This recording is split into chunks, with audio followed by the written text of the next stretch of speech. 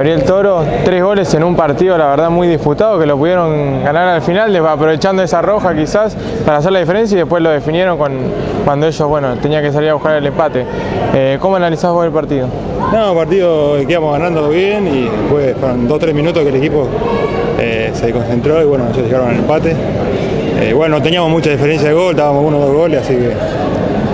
no, pero bien, gracias a Dios se nos abrió el partido al final y bueno, una, una falta que pusieron jugar de eso, no, se nos al final. Eh, están punteros ahora en el campeonato, pueden ser alcanzados por Mercantil si es que le ganan el partido a la CR, pero necesariamente se van a dividir puntos entre ellos.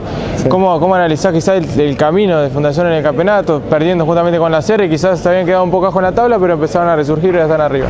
Sí, este, yo creo que arrancamos de menor a mayor y, y ahora estamos creciendo como equipo, igual faltan otros jugadores nomás que se integren. Eh, son importantes, pero bien, bien.